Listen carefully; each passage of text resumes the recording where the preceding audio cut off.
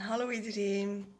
Ik kom eventjes uh, online voor dat we straks uh, de Q&A gaan doen van uh, het groepstraject zelfrealisatie. Um, en dat is meestal leuke, hele leuke toffe sessies. Um, maar um, de reden waarom dat ik eventjes een video wil opnemen is omdat ik...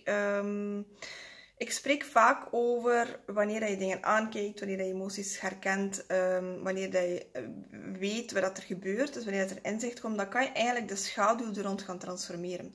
Nu, uh, het, het, stuk transformeren op zich, dat kan ik niet zo heel eenvoudig uitleggen in een video. Omdat daarvoor ook belangrijk is dat iedereen uh, in eerste instantie zijn, eh, zijn transformatiekracht gaan activeert en eigenlijk volledig gaat gaan optimaliseren. Dus daarvoor uh, we zijn onder andere de trajecten er, waarin dat we dat sowieso, waarin dat, dat geprogrammeerd zit, dat dat gebeurt. Maar ik wil toch alvast een, een tip aan de tool meegeven. wat ik kan gaan doen ik wil weer veel te snel dingen meegeven. Zwat.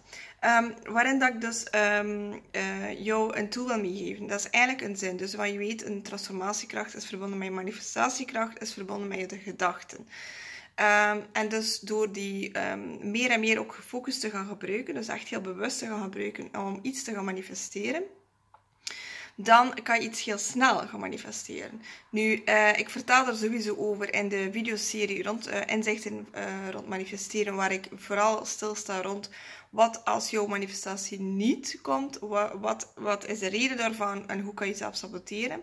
En dan in de training manifesteren met elementen, daar ga ik nog dieper in rond het volledige manifesteren stuk.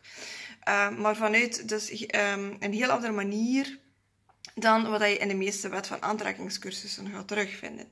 Uh, want uiteindelijk gaat het niet over aantrekken, het gaat over jezelf op de juiste energie brengen om die um, manifestatie, die wens, wat dat dan ook is, je wilt, binnen te laten.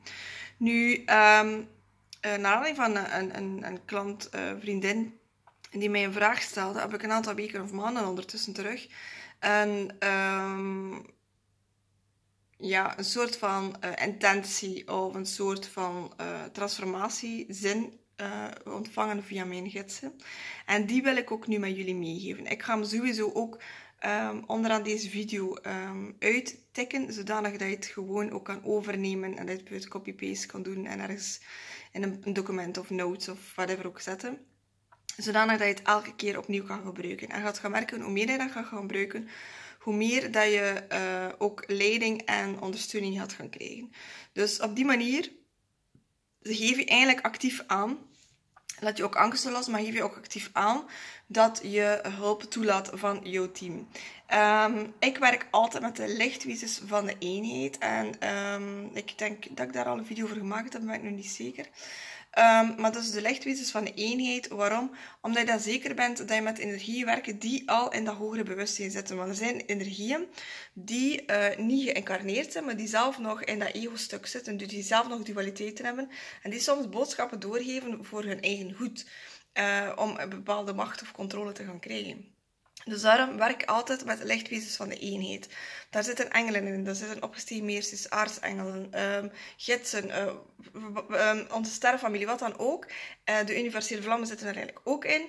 En dus door daarnet met die groep te gaan werken, dan roep je onmiddellijk ook diegene, die, die energie aan die gespecialiseerd is in jouw vraag. Dus die gespecialiseerd is in hetgeen waar jij um, mee of hulp rond vraagt. Ik ga eventjes wisselen van hand. Voilà.